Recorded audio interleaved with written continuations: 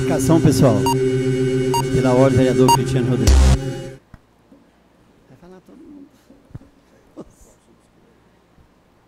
Boa noite, senhor presidente. Cumprimentando o senhor, cumprimento todos os demais colegas vereadores, vereadora Eliana, público aqui presente, serventuários dessa casa, imprensa escrita, falada e televisiva.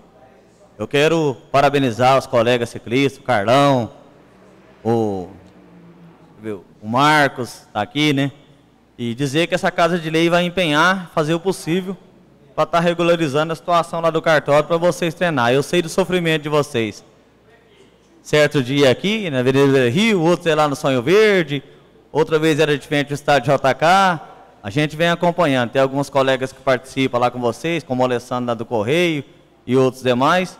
E pode ter certeza que essa Casa de Lei, junto com todos os colegas vereadores, vai estar empenhado, junto com o prefeito, para estar solucionando esse problema.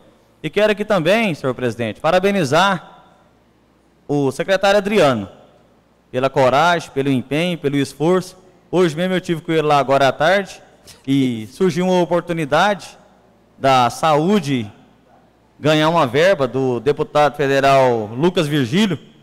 E foi aquele trem de bomba relógio. Falou assim: eu vou doar o dinheiro, só que preciso do projeto para hoje.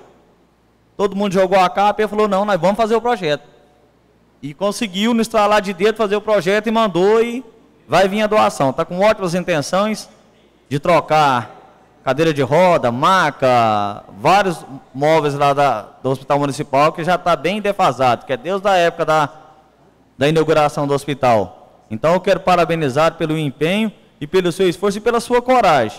E acredito eu que ele vai conseguir dar uma melhorada boa na saúde de Tumbiara. Muito obrigado.